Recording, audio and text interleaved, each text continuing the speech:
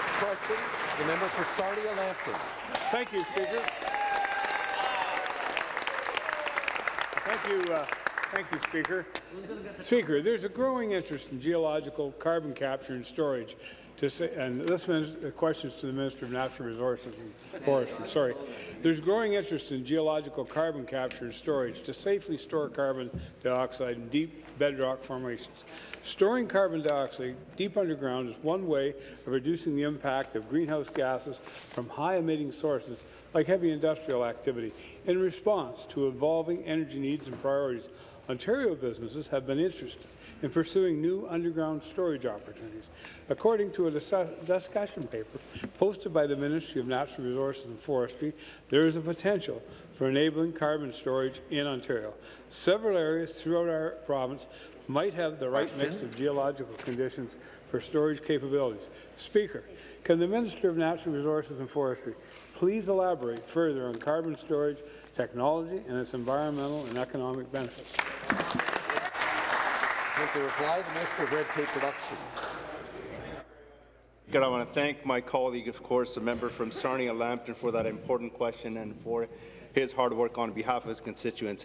Carbon storage technology that involves inje injecting carbon dioxide deep underground rock formations for permanent storage. You take the carbon dioxide emitted from power plants, from steel mill, or any other industrial process that you can think of and capture it, Mr. Speaker. Instead of having the carbon dioxide released into the air, this process ensures that it never gets a chance to be released in the air.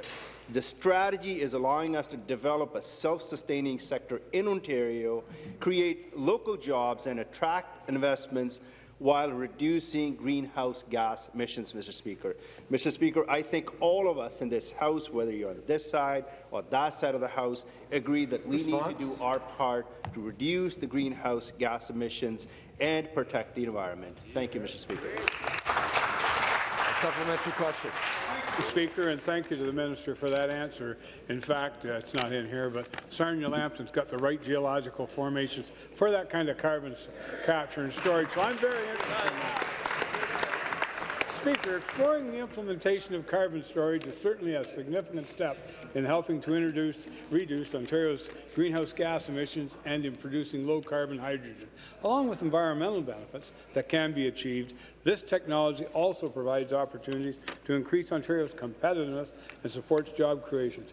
Ontarians are counting on our government to implement measures that will help support economic growth, productivity, while ensuring environmental protection. Speaker, can the minister Uh, of uh, Natural Resources and Forestry please elaborate on what action this government is taking to enable underground geological storage of carbon as we move forward? Richard Red Tape Reduction.